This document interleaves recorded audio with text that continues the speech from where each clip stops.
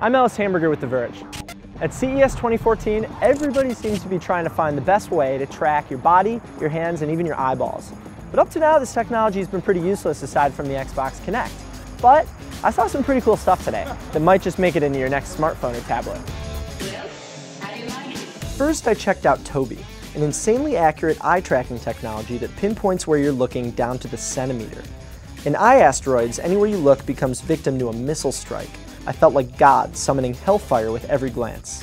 Tobii also lets you zoom in on maps using your eyes and even lets you change the radio station in the car without taking your eyes off the road.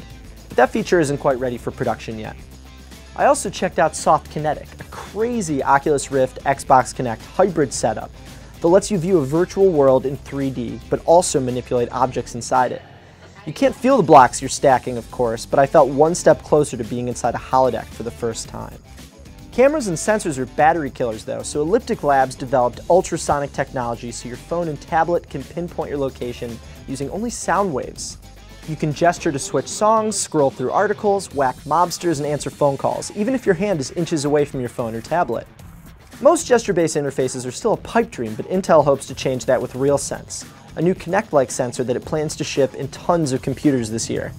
The company's initial demos let you tug on psychedelic harp strings, play virtual piano, and screw around with a digital electric guitar. We haven't quite achieved the brilliant gestural interfaces Tom Cruise manipulates in Minority Report, but we're getting closer. After slicing up melons and Fruit Ninja with only my eyes, I knew these guys were onto something. Just make sure to keep your eyes and hands inside the ride.